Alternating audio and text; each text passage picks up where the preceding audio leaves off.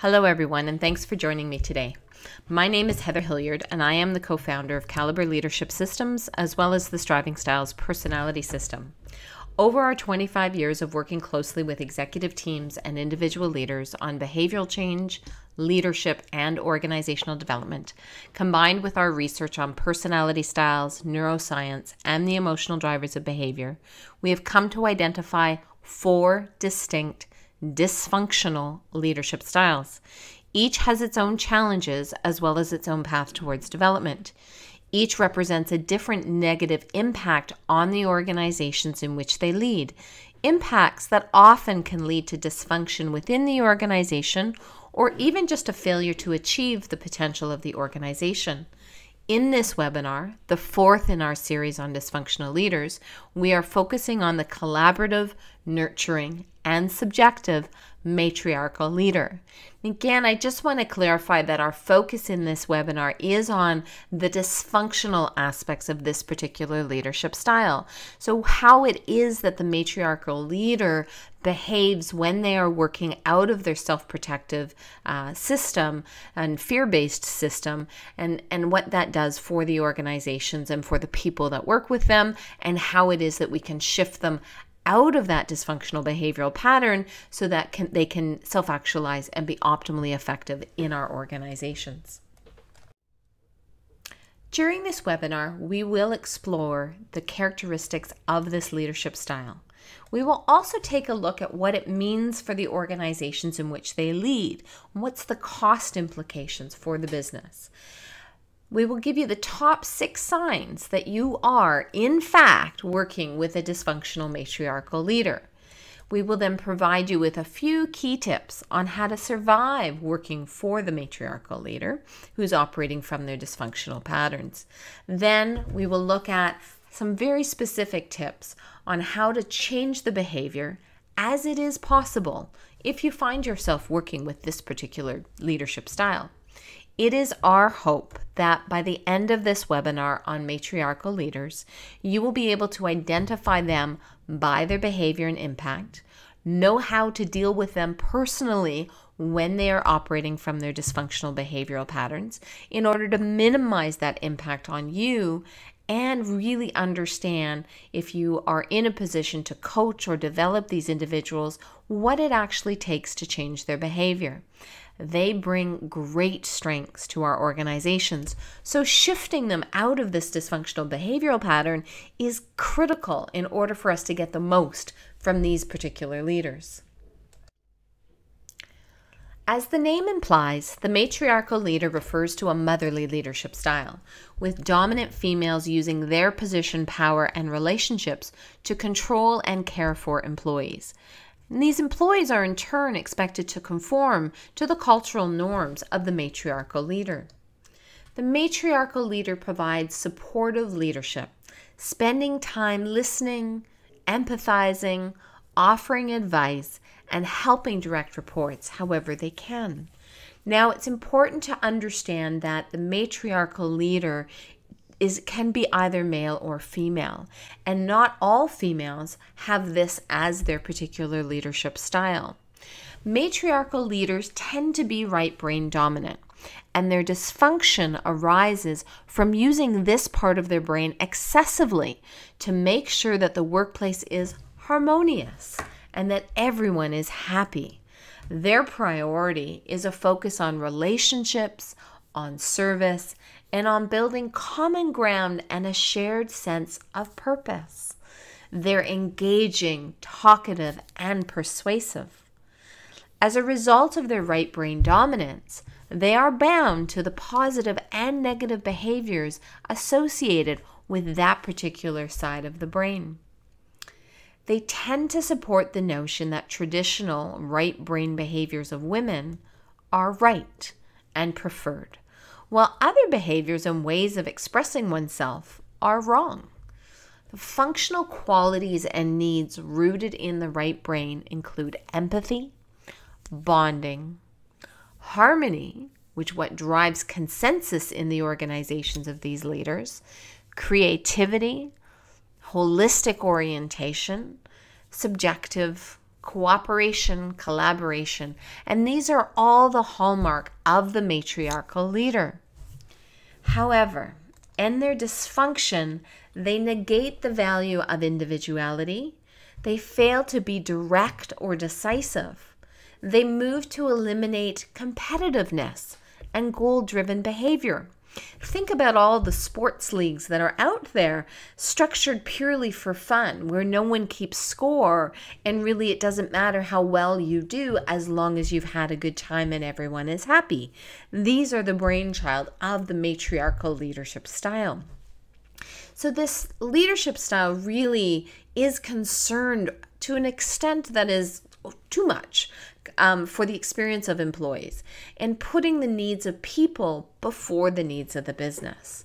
Their need for harmony and affiliation becomes disruptive uh, to the organization, especially as the organization grows and people strive to achieve their own agenda. So the matriarchal leader really is um, driven by their own agenda, and we see a more emotionally driven behavior coming out of this leadership style, a more overtly emotionally driven behavior from this style than from the other three. They foster dependence in their employees, and as I said, really an excessive focus on the people at the expense of the business, and an excessive focus on, again, the happiness and the harmony of the people. They fail to plan, which completely undermines the success of the organization and of the team which they are leading. However, it is important to remember that this dysfunctional leadership style is simply an approach to self protection. The matriarchal leader is able to develop and ultimately change their behavior so as not to be working out of this dysfunctional pattern and therefore no longer having the negative impact on the organizations in which they lead. While the matriarchal leader leverages their authority and results orientation to drive organizational success, their autocratic style, autocratic style has negative implications and costs for the organizations in which they work. Here are some of the key implications. First and foremost, they stifle innovation. Their insistence that everyone be on the same page shuts down originality, and they have no tolerance for independence and autonomy in others. Business process is slowed by their need for excessive collaboration and their focus on getting buy in from everyone one of my uh, clients talked about the fact that it can take them years to work through the process of getting buy in. And by the time the idea is finally ready and everyone's agreed to it, it's either been watered down so much it's no longer going to have the impact, or it's taken so long that either something new has come up or people have lost their energy for seeing it through. So, really valuable time and money is spent in meetings and decisions are delayed due to the lack of total agreement because the matriarchal leader wants to make sure that they get it all the way. By not delegating authority and decision making through the ranks, uh, decision making is also slowed by the matriarchal leaders as they become a bottleneck, watching everything having to flow through them. Their need to be helpful causes them to hire and keep low performing employees on board they're driven by emotions and so they tend to feel sorry for their employees who aren't doing very well. And this will cause high performing employees to leave. So the mediocre workforce is the outcome as competent employees move on, but those that are not performing as well, who are feeling well taken care of by the matriarchal leader, stay. The organization of the environment is chaotic, and this is due to the lack of planning and the failure to hold people accountable. Emotions are used to keep employees in line rather than objective performance management systems. So, when energy goes into complaining and talking about the issues, and almost to a degree, sometimes it feels like gossiping about the issues rather than actually resolving them. And so, the organizations that are run by the matriarchal leaders tend to see a loss in market share over time, or really even just a failure to achieve the true potential because of the subjective reasoning and the priority of people before profit. So, how do you know that you are working with a matriarchal leader? And what does that mean to your organization again if you are? Because it's under, important to understand both the behavior of that dysfunctional behavioral pattern and what it means for the business. Matriarchal leader avoid the very things that employees need in order to feel stable and to be effective. They create chaos, emotionality, insecurity, and frustration with their employees and peers. So, here are the six signs that you should watch for to tell if you are working for a matriarchal leader. First and foremost, you cannot do anything independently. While matriarchal leaders say that they are all about empowering their employees, should they be operating from their dysfunction, they are more about making everyone conform. They are collaborative and insist on inclusion and collective decision making to ensure that everyone is conforming and doing things their way. Those employees who complain about how long meetings take or inefficiencies can actually be made to feel guilty or punished by the matriarchal leader. They can take it personally when an employee acts independently and makes a decision without consulting them. They really take it as a personal affront. A client of ours who is the CEO of a, a fast growing organization hired a CFO following this expansion of the business. Once on the job, the CFO sent a letter and a follow up email to all of the suppliers and clients introducing himself and his role in the organization. While he had told her that he was going to do this, she had not given him permission to do so, nor had she vetted his letter with the rest of the leadership team to make sure that everybody was on board. She was furious with him and felt that this was an absolute betrayal of her trust. He was dismissed soon after this event. So, what's the impact? Well, really, it's the slowing down and the ineffectiveness of the decision making. Because the matriarchal leader tries to get everyone on the same page before making a decision and doesn't allow employees to make decisions on their own despite their expertise, decision making can come to a complete halt.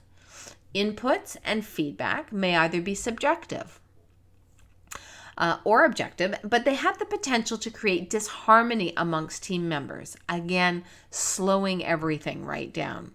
Matriarchal leaders will either try to see everyone's perspective or come down emotionally hard on the side of the employee who has an opinion that is too different from the rest of the team. Matriarchal leaders actually take it personally when an employee fails to deliver on a project or work product especially after they've helped the person and supported them in order to be successful. They tend to talk about their feelings rather than providing objective feedback about what needs to change in order to improve. When employees don't live up to the, their expectations, they take it personally, blaming themselves for this happening and, and letting the employee off the hook. They can be so emotional about the issue that employees don't actually know what the real issue is. Another example with another client of ours, after months of working with team members on a proposal for a substantial project, our client was at her wits' end. She couldn't figure out why her team members were so inadequate and had blasted them several times, telling them how upset she was with them because they were letting her down. She would storm out of her office in a rage, leaving them at a loss for what they needed to do to correct the problem. Then she would do the work on her own, leaving her people to feel guilty and inadequate. So, the outcome of this particular behavior is mediocre performance. Direct reports often find themselves confused and unsettled because it's really difficult to know where the matriarchal leader is coming from. Indirect and emotional communication actually stops employees in their tracks and they don't push for success. They don't feel as though they are on secure footing with their leader. And when we can't trust our leader, we actually start to shut down our own performance. Employees often think, Did I do something wrong? Or should I have known they wanted that done that way? Those who need a more objective work environment move on. Matriarchal leaders need to be needed. And they like to take the position of queen bee or king of the hill if they're a male. They want to be the person who everyone comes to for help. If it isn't a parent, they will try to find a vulnerability or area of weakness in others just so that they can help them. They will offer their help and tell you what help you need without you even asking for it. They can be meddlesome, intrusive, and even bossy, trying to make direct reports and peers even feeling capable of doing anything without their help. If you don't need them, you offend them. A client of ours that's an editor for a magazine put a lot of energy into the people she considered having potential while actually ignoring her high performing uh, direct reports because, of course, from her perspective, they didn't need her. When her high performers complained to the matriarchal leader that the people that she was working on in terms of their development were really failing to deliver for the team, she shut them down, telling them to be more supportive and empathetic of others. She came to us for help when the turnover at the magazine doubled in a matter of a few months. So, what's the impact for the organization or for the team or for the individuals? Well, really, in disengagement. So, because matriarchal leaders fail to bring out the best in their high potential employees or employees that are more autonomous, again, because they don't feel needed by these employees, um, it then causes a shift in, in the level of engagement of these folks. If an employee doesn't need the help of the matriarchal leader, they can fall out of favor. They can be cut off. They can be sidelined as a result of it. And because they tend to praise excessively, you know, that every little thing is great and amazing and wonderful, they cause some employees to believe that everything they do is absolutely amazing. Or they frustrate their high achievers by praising them for routine parts of the job, and so the high performer becomes dismissive of the feedback. This instability and these mixed messages really does lower the performance bar substantially on their teams and leads to losing high performers and keeping the mediocre ones. So, tip number four they uh, with the matriarchal leaders, they have a real tendency to be disorganized and scattered. So, as we said before, their dominant right brain um, requires them to connect up and use the, the functions that are more about planning and organizing and deciding. So, because they function from their right brain, which is more relational and holistic, rather than planful and organized, the outcome is that level of chaos um, in the in the environments in which they lead. So they may have lists of goals that they need to achieve and deadlines that they have to reach, but they don't always give them to their staff. And and the reason for this that we hear over and over and again from this style is well they don't want to upset their staff or they don't want to put too much pressure or stress on them. And so as the result the matriarchal leader carries the entire burden. One of my clients went so far as to say he didn't want to share information about what was going on in the marketplace um, with his executive team for fear that it would upset them and scare them too much. So, this is the working out of this dysfunction of the right brain of the matriarchal leader, wanting to be liked, wanting to keep everyone happy, wanting to keep the harmony. So they get so focused on helping and doing things for others that they really do fail to plan, organize, or complete their own work on time. A client of ours who owned a uh, manufacturing company was actually beginning to lose her market share and status in the marketplace because she couldn't get her employees to meet her deadlines. She was spending so much time helping her staff that she didn't realize that she actually wasn't leading the business by planning, delivering expectations, and, and being out ahead of the group so that they could actually deliver for her. So she really did believe that the solution to their poor performance was to get in and help them more and show them more and do it with them more rather than managing them to expectations, giving deadlines, and staying involved with them in order to hold them accountable.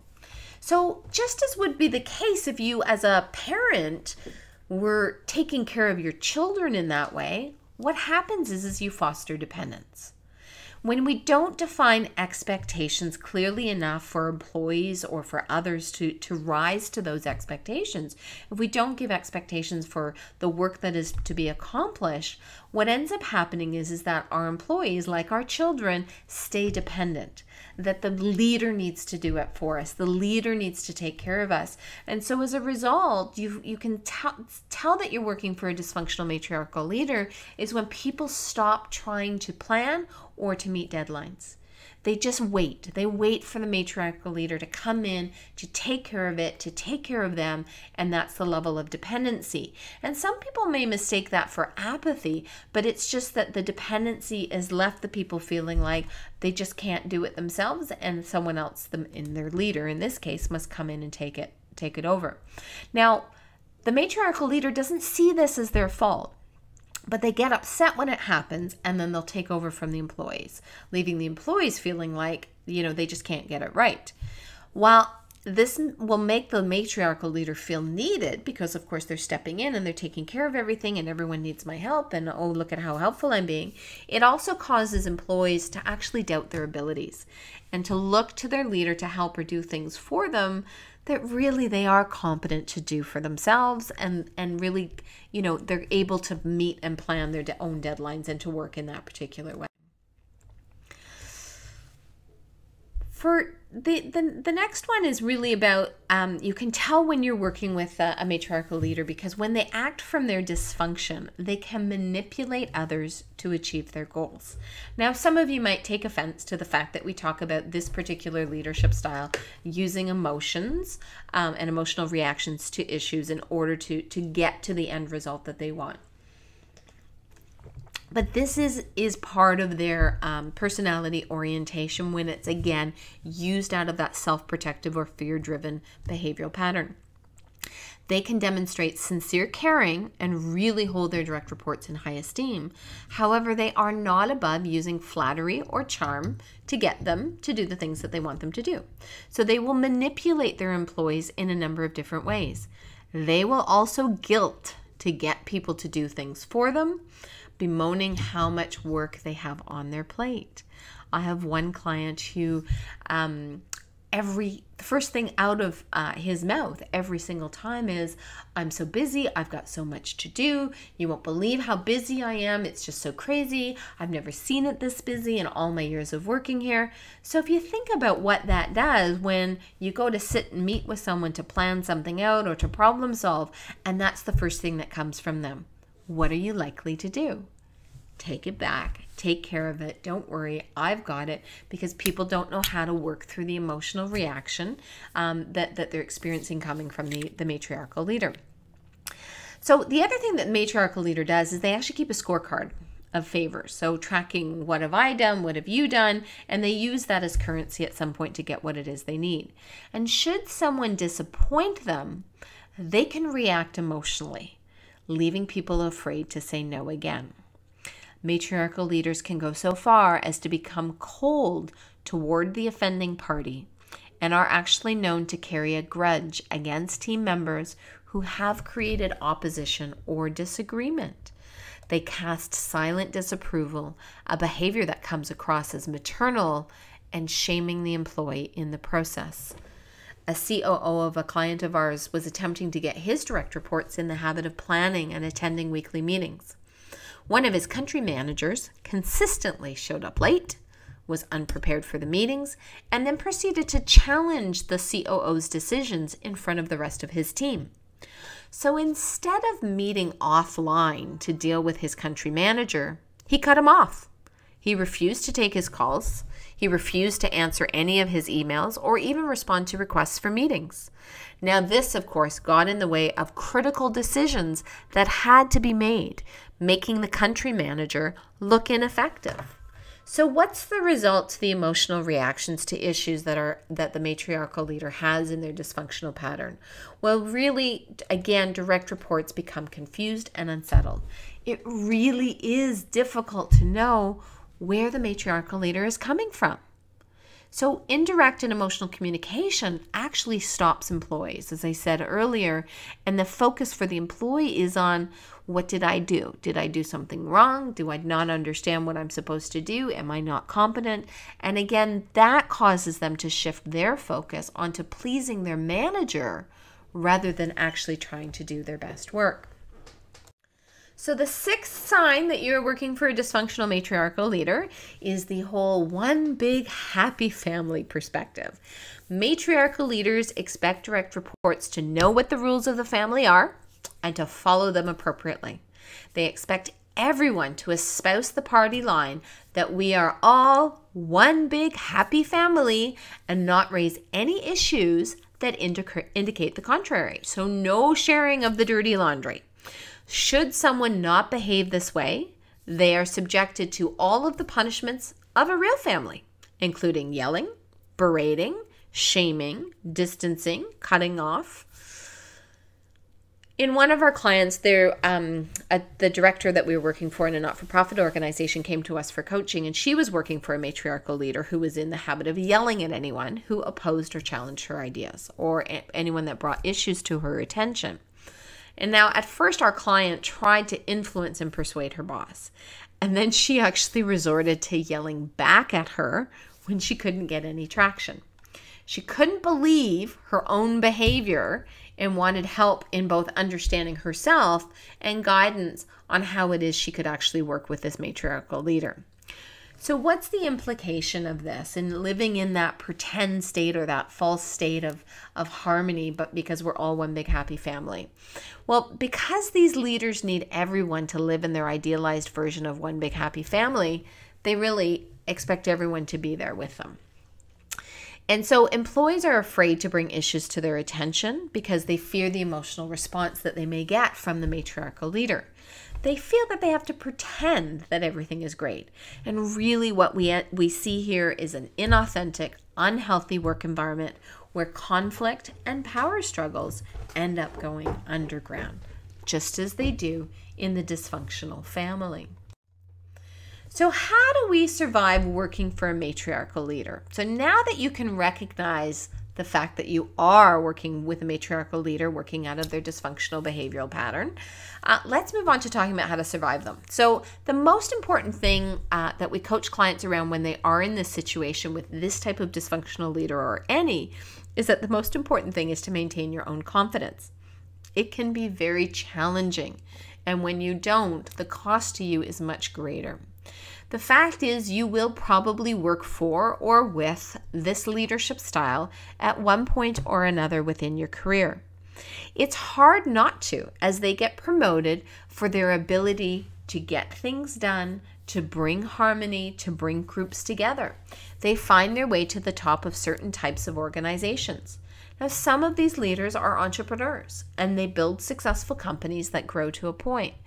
Others we find working in not for profit organizations, government agencies, uh, school leadership, um, and also in some of the um, uh, professions that are more right brain focused. So, communications, uh, marketing, uh, customer service, uh, th- those sorts of elements where there's a really high orientation uh, towards the helping and the caring of others.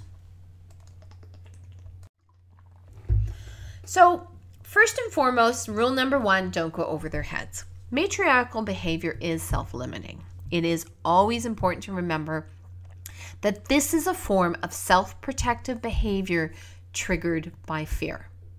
The motivation of the matriarchal leader is to maintain control over their own fears by staying connected to others through their values, behavior, and support. Becoming emotional causes their direct reports to either fear them or lose confidence in them. And it's difficult to understand the subjective reasoning that the matriarchal leader can use and their emotionally driven behavior. While employees like their matriarchal leader, they may try to help him or her by going to their direct boss for advice, so their boss's boss. Now, this will see, be seen as an act of absolute disloyalty by the matriarchal leader should they find out. they take things personally. And it's so important to remember that. And this will cause greater problems for you. It is always in their minds all about them. So, what's important to remember is to respond and not react. Strong emotional reactions in you will simply cause them to become more emotional and to escalate further. So, notice your feelings about their behavior and figure out how to approach it objectively and consistently. If you don't understand why the matriarchal leader is behaving the way they are, try to look at what disharmony or misalignment is going on. When introducing something to them, start by putting the two of you on common ground. For example, starting a conversation by saying, I know we are both frustrated by having missed the deadline will get you a lot further than saying, You didn't make it clear we were supposed to have this project finished today. Often people walk on eggshells and let the matriarchal leader have their way without really trying to engage or manage them. So, contrary to what you might feel like, your adaptive reaction to the matriarchal leader is not their fault. Your own fear can get in the way of your success in dealing with this manager, peer, or direct report. So, again, being aware of that and remembering that a direct confrontation is adversarial and it will make it seem as though you are against them. So, we always want to seek to find common ground. Where are we in agreement? How can we move from there? Many employees find that after working with the matriarchal leader for a period of time that they start to become as subjective as their boss. And what this means is they don't try more objective approaches to ask for what it is that they or their department wants and needs. Bottom line, they're afraid of upsetting the matriarchal leader. So remember to take a professional approach to getting approval from this leader. This means you need to build a business case to demonstrate why what you want is needed and what the benefits will be when it's finished. While the reasons and benefits may seem perfectly obvious to you and others who are intimately involved with it, it may not be so obvious to the matriarchal leader. So, being able to defend your proposal and influence their decision cannot be done when you come from a place of fear.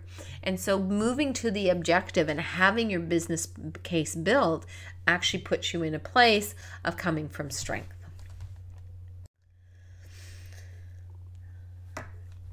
It doesn't cost us anything to make the effort to meet the needs of our leaders, especially the matriarchal leader. Knowing that they have a need to nurture and to help others and for collaboration creates the opportunity for you to go to them and run ideas by them, whether you need it or not.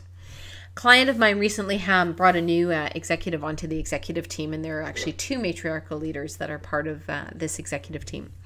Um, and he's coming into a job that he's done before a couple of times in other organizations in the same industry. Felt very confident about uh, his competence to take this on and to do it. But he had two matriarchal leaders that are his new colleagues, uh, who to a degree have been involved in this function before him. So he had an initial discussion with him and then figured he, you know, it was good enough and, and he could get, get on with what it was that he needed to do. What has actually been created, though, is a significant uh, dysfunction within the executive team because the matriarchal leaders, the two matriarchal leaders, were so upset and offended by his refusal to come to them in order to let them help him that he would not come and collaborate with them on everything, and that they wouldn't provide the opportunity for them to nurture him and develop him because they'd both been in the organization and in the industry, quite frankly, for a much longer time. But given their needs as matriarchal leaders was to nurture and to support and to help and collaborate, by refusing to do that unconsciously, he really didn't in not not having a high need himself for collaboration he just wanted to move to getting it done he didn't involve them. And so now there's a, a, huge conflict between them that they now have to work through and resolve because he didn't recognize the need in them and didn't actually work to meet the need. And so this is the challenging part of it is you may not need it but they do and focusing on giving them what they need even though it's not what you need. Okay? And finally, help them to define the issues. So when you're working with them, so um, with a matriarchal leader, it really is important to understand that they need help focusing on the issues and not on their feelings. Empathizing with how they are feeling is important because we have to meet them where they are.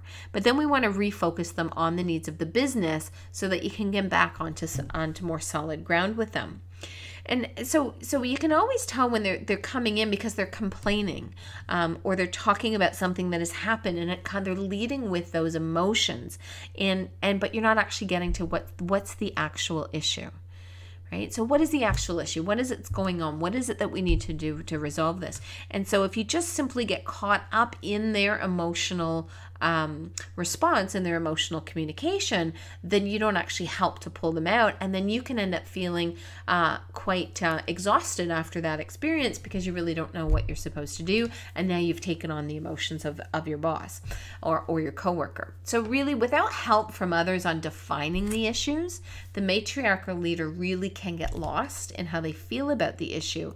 And rather than trying to figure out what is the actual problem to be solved. And, and it really, we can't solve emotions, we can only solve issues. So, how do we change the behavior of the matriarchal leader? Because, of course, this is a dysfunctional behavioral pattern that is triggered by fear. So, matriarchal leaders move into this set of behaviors or this set of dis- this dysfunction because they are working to protect themselves and to stay in control of their situation and their environment. And so, that puts an excessive focus on things like, as we said before, on harmony, on collaboration. Um, on, on really holding the group together and the relationship together. So we can change their behavior. So here are some of the key things that you need to keep in mind when we're working to change the behavior of the matriarchal leader. So first and foremost, and it may seem obvious, but manage their performance. And and the reason why I start with this one is because it is amazing the number of clients I have that have matriarchal leaders reporting into them who will not and do not manage the performance of these direct reports. And they will manage the, the performance of their other direct reports who don't have this particular leadership style. And the reason for that is that it's like they come in and they don't know what to do with them. So, for example, one of my clients has a direct report who, whenever they sit down to talk about performance, she, all she does is talk about how busy she is, which I mentioned earlier. So, so it is this whole I'm so busy and I can't believe it, and it's so it's so much, and I'm working so hard, and I'm working so long, and so then he feels guilty saying to her, but you're not getting to this and you're not getting to that and where are you at with this? And you promised you'd have this on time. And and so it's a way of, of which you know he's then pushed out to avoid actually getting in and managing their performance. And so as a result the matriarchal leader um, really isn't getting their behavior managed and because leaders are often um, afraid of upsetting their matriarchal leader in direct reports, they simply choose not to have honest dialogue about their performance. They won't be as direct with this style as they will with others. But it's absolutely critical that you move into managing their performance. Um, the other thing to keep in mind around managing their performance is to not allow them to hire insecure or inexperienced people um, because that allows them to lose themselves into being helpful with these others and trying to get these others up to speed rather than actually delivering on their own performance and their own performance expectations. When we look at providing leadership coaching to this particular leadership style, the focus needs to be on helping the matriarchal leader to develop skills for planning, decision making, and situational leadership one of my clients who is the uh, the head of a, an operating group in, in an organization, um, and she's been doing this for, for several years. She doesn't put together business plans. And when she's asked to do so, uh, it creates such a panic in her um, that she finds uh, she either finds other excuses or she comes in and, and does an update on where her business unit is at, but there's never a go forward plan. And really, it, it's not something because of their right brain domination it's not something that they can simply go to a course and you're going to think that it's going to change. Leadership coaching is they actually need someone to come in and to show them and to do it with them. So for the first couple of times where the, while they're building the experience or the, the expertise they need a lot of hand holding in order to develop up. So the planning learning how to make decisions without building consensus and situational leadership. The other thing is is that the matriarchal leader really needs to learn how to shift to a much more directive style to ensure that goals are achieved in a timely fashion. So, understanding this idea of a directing, which is what we want our leaders to do, um, versus informing, which is the approach the matriarchal leader might take, is really important to their development. And this is something that often gets overlooked because they are very strong communicators, but their communication style is informative as opposed to directive. And directive means I'm telling you something so that you can actually go do it. So the uh, the matriarchal leader really isn't hardwired to define what is expected, when it's expected, or even to be clear on their decisions so that people can move to action. So coaching really helps them to get comfortable with the use of more directive language and speaking in a way that is more authoritarian and not leveraging the authority in their relationships, but really, you know, coming at it from that business authority perspective. So if you think about it this way, it's kind of the difference between saying to someone, I'm thinking of serving dinner at 6 versus saying, please come over at 5:30. So the latter is very directive. Please come over at 5:30. Okay, I know exactly what I need to do. I know when I need to be there. But when someone says to me, "I'm thinking of serving dinner at 6," what does that mean? Do I come at six? Do I come sooner because I don't want to show up just when dinner? So, so now the onus is on me to make a decision because the person hasn't been directive in their communication. Okay, and and so this is where coaching is really useful uh, when the coach in particular understands the personality structure of the individual that they're working with assertiveness training. So, not that most leaders can't use this, but matriarchal leaders in particular, because they believe it is more important to be nice than to use their position power to manage performance. They need to take assertiveness training in order to have boundaries and to learn to say no without feeling guilty. They need the assertiveness in order to help them to understand where the boundary is between helping too much and helping enough. Um, and so, this is what the assertiveness training will do for them oftentimes the, the success of a matriarchal leader really is the direct result of doing the employees work for them when those employees fail to meet performance targets. And so the assertiveness training too really helps them to learn to deal with poor performance and to give consequences to these people that they like and and with whom they have a relationship that they want to keep in harmony without fearing the consequences of that that relationship being um, fractured uh, in one case, one of my um, matriarchal leader actually, clients actually put so much energy into being liked that she wouldn't initiate discussions about her own role, her contribution, and the, her area of the business with her direct boss. But it was interesting because she had no difficulty going to bat for her staff because in her mind that was her role was to take care of them. But when it came to putting herself in there and what did she need in order to be successful, she couldn't do that for fear that it would have consequences inside of her relationship with her boss. Of course, the use of 360 degree feedback is always helpful um, with the matriarchal leader, despite them being so easy to work for and work around, and they're so nice and everybody likes them. They can really be so busy helping others that they don't think about their own needs of the as a leader. And so the 360 brings them a different perspective, right? And and shows them what are some of the things, some of the areas where they're not perhaps attending to it because they're so busy helping others. So really, the process can demonstrate the impact of the behavior behavior that the matriarchal leader is having so that they don't deny their need for help and how it is that they're contributing to the issues. Of course, folks that like to help and like to help in the way that the matriarchal leader does because it's, you know, an innate need of theirs is to be helpful, it is very hard for them to step back and recognize when they need help themselves. And so the 360 feedback process can support this. It can also highlight the importance for more balance between the right brain people focused leadership activities that come so naturally to the matriarchal leader and the left brain activities of planning, organizing, and defining. So that brings us to the end of our webinar on this nurturing um, and uh, supportive yet conformity demanding matriarchal leader and their dysfunctional behavioral pattern. And like leaders, organizations can also take on these characteristics as a whole and as a collective, and it can get woven into the culture of the organization where people can't see that there's a way to lead out of that. And, and so uh, becoming quite stuck in that place of not being able to change things.